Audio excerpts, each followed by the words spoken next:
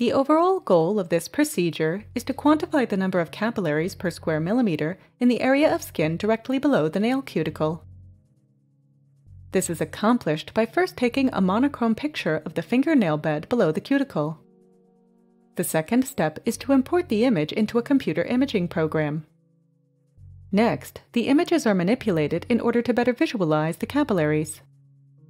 The final step is to identify and count all of the capillaries within 1 square millimeter. Ultimately, image manipulation is used to show the quantity and morphology of an individual's capillaries. This method can help answer key questions in the cardiovascular field, such as how hypertension, diabetes, and other diseases can impact the microcirculation.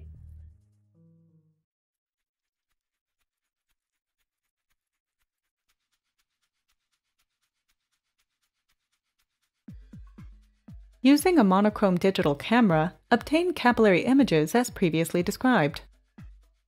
Then, take calibration images of a reticule with millimeter markings using the same camera and magnification imaging conditions that were used to obtain the capillary images.